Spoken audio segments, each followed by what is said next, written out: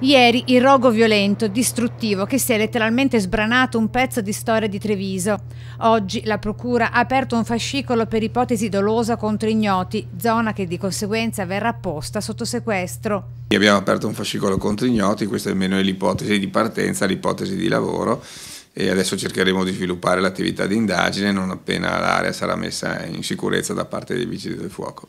Ad originare il rogo sembra sia stata la presenza all'interno dell'edificio di 14 silos di legno. Quando potremo spostare le macerie potremo forse avere le idee più chiare, verificheremo l'eventuale presenza di liquidi acceleranti o l'eventuale presenza di più punti di innesco che potrebbero giustificare l'ipotesi appunto di eh, reato doloso. Ed ecco quel che resta dell'ex opificio della Chiari Forti che lascia tutti sgomenti, senza fiato, al posto della fiamme, la nube nera, la profonda voragine di quasi tre metri.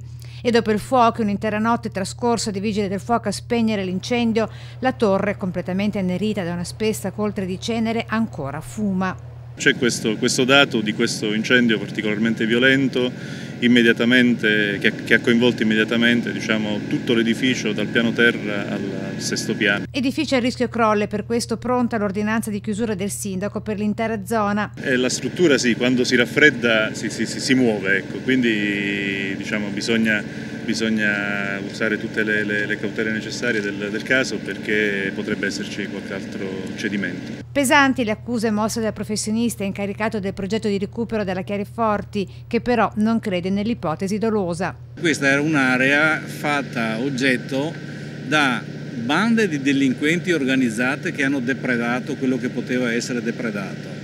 Cioè la cosa più semplice da farsi qui era il recupero in un opificio come questo di tutta la parte dei metalli preziosi. E qui hanno depredato tutto